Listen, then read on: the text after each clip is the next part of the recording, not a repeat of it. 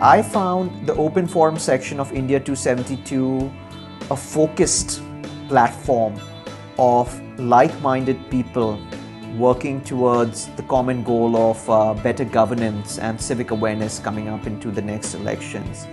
I think this is a great crowdsourcing initiative of India 272 working towards a common goal of collection and then dissemination of relevant information.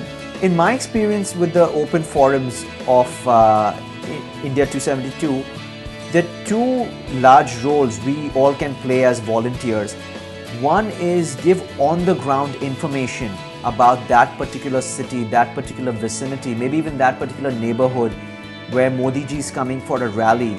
And given that city specific, that neighborhood specific feedback, and I've been given to believe that this feedback is synthesized, processed, and passed on to the senior leadership of BJP.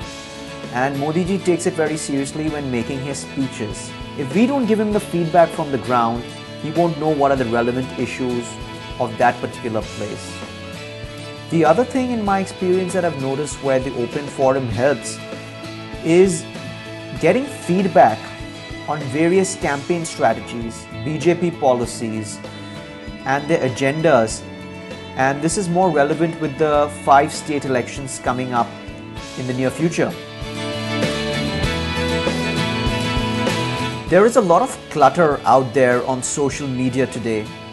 But what I have found on the open forum section of India 272 is a group of like-minded people working towards common goals of a more educated discourse, policy recommendations, and election strategies in the run-up to the general elections in the middle of next year.